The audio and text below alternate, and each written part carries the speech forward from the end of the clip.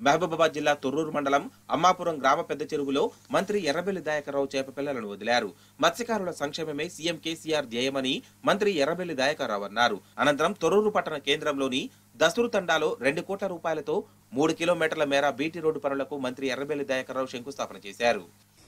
ఇలా ముదిరాజులకు వంద శాతం ఒక మన పాలకుర్తి నియోజకవర్గంలో ఒకటి ప్రతి సంవత్సరం కోటి రూపాయలు ఖర్చు పెడుతుంది మీకోసం. ఫ్రీగా మీకు సబ్సిడీ ఇచ్చి ఇంకా ఐఓటి ఇయోటి ఇస్తున్నది.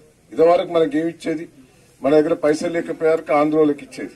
ఈరోజు రోజు మీరే బతకాలని ఆ పెట్టుబడి లేకుండా పెట్టుబడి ఇచ్చి మీకు చేపలు పెంచే అవకాశం ఇచ్చి మీకే అధికారాలు ఇచ్చినాం. గ్రామ పంచాయతీ చట్టంలో ముఖ్యమంత్రి గారు పట్టుదల చేసి ముద్రాజ్ బిడ్డలకి అధికారం ఇవ్వాలని ఇచ్చారు సార్. ఆ చెరువు మీద మీకు చెరువు ఇదివరకు అడ్రాజు పెట్టుకుంది సార్ గ్రామ పంచాయతీ తీసి ఎన్ని ఒక్కసారి మీరు ఆలోచించుకోవాలి. ఇంకా మనం చేయవలసి ఉండొచ్చు కానీ కేసీఆర్ గారు వచ్చిన తర్వాత ఏడేళ్ళ లోపల సాధించిన విజయాలు ఇదివరకు చెల్లల్లో నీళ్ళు లేకపోయింది.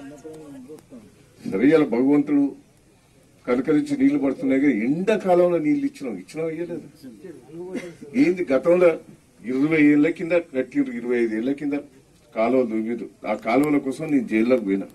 తన్నులు తిన్నప్పుడు కానీ నీళ్ళు రాలే. కాళేశ్వరం కట్టి మూడు వందల అరవై రోజులు మనకు నీళ్ళు ఇచ్చిన మహానుభావుడు కేసీఆర్ గారు. ఆ నీళ్ళు లేక